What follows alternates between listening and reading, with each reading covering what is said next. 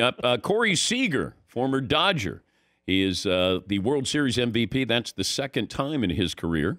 I think, uh, what, three years apart? And there's a very short list of guys who have done that. I think the fourth guy ever Koufax, Bob Gibson, and Reggie Jackson. Now, I'm looking at his numbers. We did, now, I was kind of casual when Paulie said, you know, he might be a Hall of Famer. And I go, no, he's not. But he doesn't have the regular season numbers. That's the key. Postseason, wonderful. Um, you win two MVPs, but he's only got a thousand hits. Yeah, it, regular season Corey Seager, he came out hot when he was with the Dodgers like seven years ago. He was rookie of the year, a couple All Star appearances. Then he kind of, he, he- I wouldn't say cooled off. He just was hitting like 270, you know, and he was a nice player. Remember, he got lost in the shuffle of so many Dodger stars too. I mean, all those guys.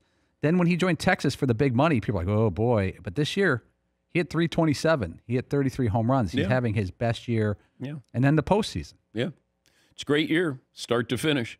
Although I would not take Corey Seager's career over, who did we talk about? Uh, That's my poll today. really? Whose whose career would you rather so have? So Mike Trout. Mike Trout, Corey Seager, and I'm thinking about throwing in Bryce Harper because he's a bit of a hybrid between Okay. Trout and Seager. There's going to be recency bias here. Oh yeah. And that's what you're banking on. Well, no, I think that's fair because I could look. Mike Trout's an all-time great, and, and he's one of the I would take Mike Trout and Bryce Yes. Harper over him, uh, over Corey Seager. but Bryce Harper is you know, two really great seasons and, and really good postseason player. yeah.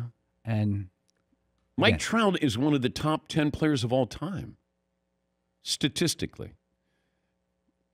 No, you're, there's no doubt. There's there's a I don't know if there's a.